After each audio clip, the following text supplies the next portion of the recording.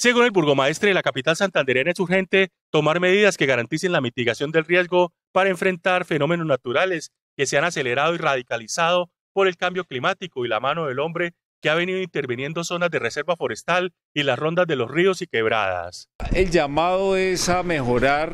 la información en lo que tiene que ver toda la gestión de riesgos y desastres de la ciudad y el departamento. Tenemos que ser capaces de aprovechar la tecnología. El Departamento de Antioquia ya ha venido desarrollando iniciativas en ese sentido, de manera que tengamos alertas tempranas y no podamos de pronto estar sorprendidos siempre a estas eventualidades.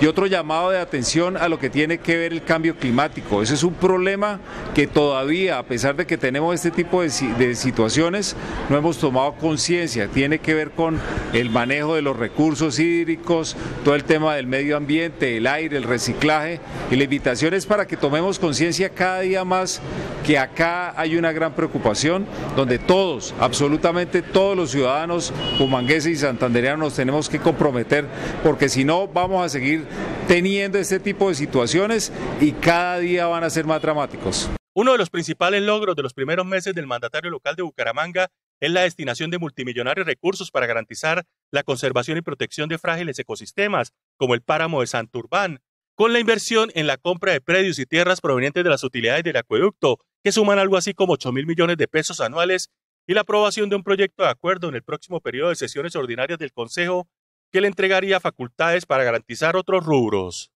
Porque hemos hablado de la corresponsabilidad histórica con la provincia de Sotonorte, con el páramo de Santurbán, y esto es de verdad algo que nos debe llenar de emoción porque los santanderianos somos absolutamente solidarios y es lo que estamos realmente reiterando con esta población.